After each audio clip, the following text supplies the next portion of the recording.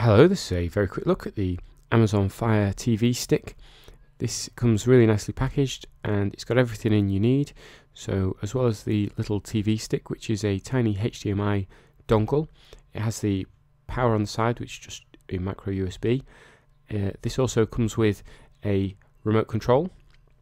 Nice little remote control, has everything on it you need.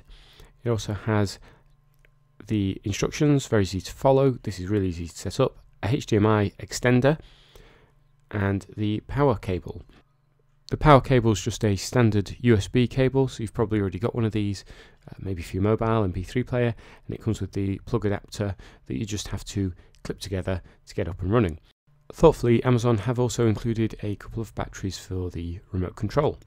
Setup was really easy, I was up and running in about five minutes. You get a good length cable for the power cable and all you need to do is attach the cable to the stick and plug your fire stick into a spare HDMI port. Now this is where you might need the HDMI extender. I didn't need to use it, I just plugged it straight in.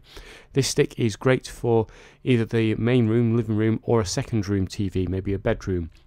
Once you've plugged this in and powered everything up, you just have to go through the setup process, very quick and simple, just choose your language and then choose your Wi-Fi network.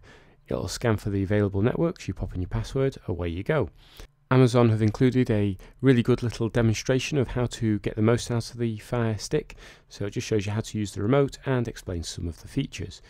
I'm with Virgin Media, I haven't had any problems setting this up or streaming at all, uh, and I haven't tried the parental controls either, I, I don't need to use those, so I can't comment on other networks such as BT and using the parental controls.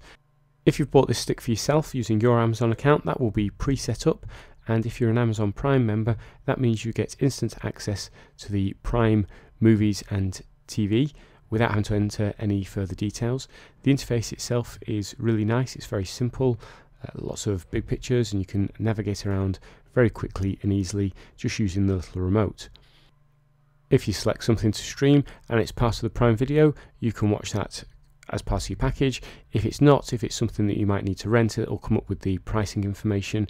Uh, but overall, it's a very slick service. If you've used Prime Video on other devices, you'll find it. This is probably one of the better experiences. It can be a bit clunky elsewhere, but I'm quite impressed with this one. Now you can also use your mobile, and you can use that either as a remote or to search for things via the voice command function. Outlander. If you're not keen on voice controls or it has problems recognizing your voice, you can also do searches via a more traditional text input. And as you can see, I only had to type two letters to find Star Trek, which is what I was looking for. You're not restricted to just Prime Video, you can also install other streaming services such as Netflix. You'll need to put your username and password in, but once you're in, you get the familiar Netflix layout. Again, this runs nice and smoothly. Actually, this is a lot smoother than on a smart TV I've got. It's quite a nice experience. There's an awful lot of streaming apps available, and you can also have a look at your watch list uh, and games as well. If you've got any games from the Amazon store, you can go and access them here. Amazon do actually quite frequently give away some games, so it's worth checking out.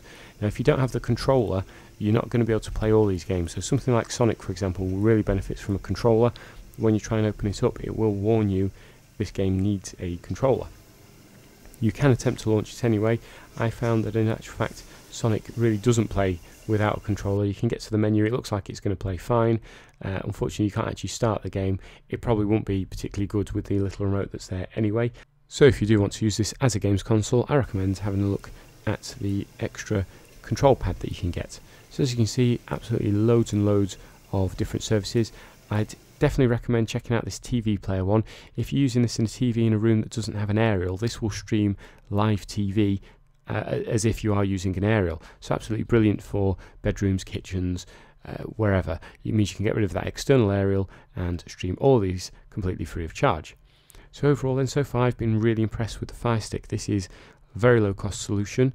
It's very slick. It's got a decent amount of memory on board in case you want to add extra apps plenty of services are supported.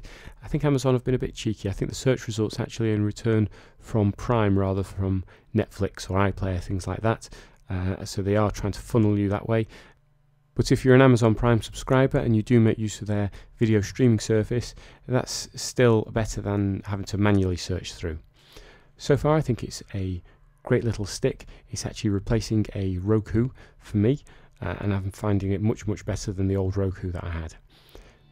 Hope you found the short review useful. Thanks for watching.